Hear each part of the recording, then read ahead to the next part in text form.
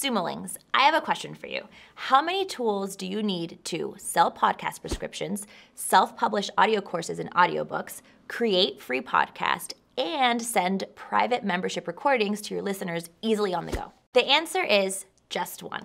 And we're bringing you this magical tool for building your audio publishing empire in today's product showcase.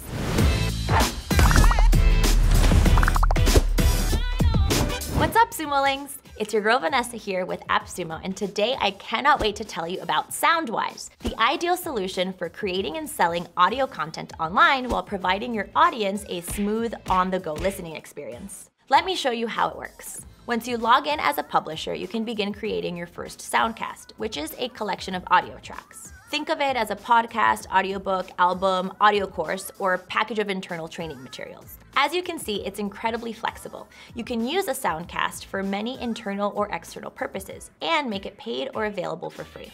All right, so let's add a new Soundcast and adjust its settings. Then detail the main benefits and features of your audio program. Optionally, include a long description, cover image, or any instructor or host information. Soundwise also lets you include intro and outro clips that can be automatically attached to the beginning and end of each track, which is ideal for uniformity and because it also saves a lot of time by adding those audio clips each time.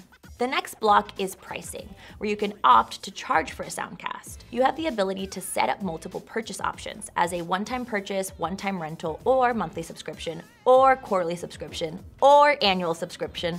Plus, you can also add promo codes and include a trial period. Even within a paid Soundcast, you can include some free audio tracks open to the public as a small sampling. Speaking of audio tracks, let's start adding those in. Each Soundcast can contain any number of audio tracks, and all you have to do is hit the Add Episode tab to upload or record the episode. That's right, you can record your content directly through Soundwise. Once you've uploaded the audio, go ahead to title the episode, slap on a description, assign any action steps or homework items, and upload any PDF or media file you would like to accompany the episode.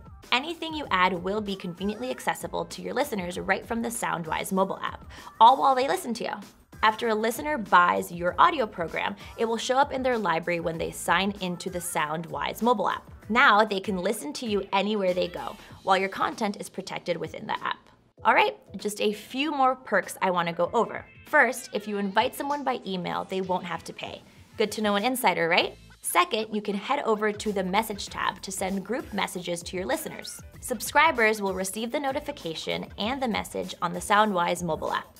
Third, you can monitor your audience's listening activity down to each listener under the Analytics tab. And finally, you can connect Soundwise to your YouTube channel in order to convert your videos into audio files to turn them into a podcast feed in just a few clicks.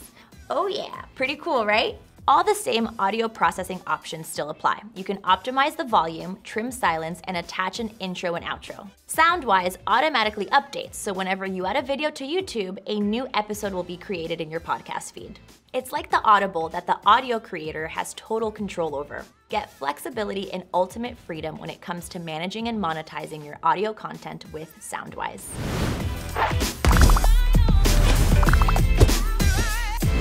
Soundwise automatically updates, so whenever you add a video to YouTube, a new episode will be created in your podcast feed. Do I have to redo that again because of the car?